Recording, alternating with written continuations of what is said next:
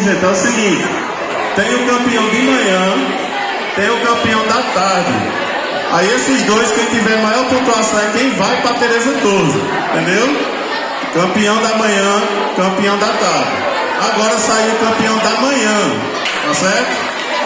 Primeiro eu queria parabenizar todos vocês, que a disputa foi excelente. Vocês foram muito bons, muito bons em todas as provas, tá certo? Vamos lá. Resultado oficial aqui. Em terceiro lugar, em terceiro lugar, com 825 pontos, foi o sexto C. Terceiro lugar, comemora, minha gente. Foi bom. Né? 825 pontos, sexto C. Em segundo lugar, 893 pontos, 893. Oitavo A.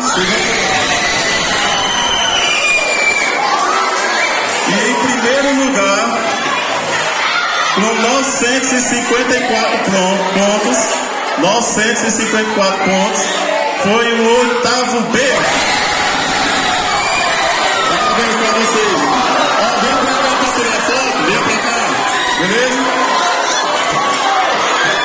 Minha gente, quando for pra sala, vocês levem as cadeiras, viu? Oitavo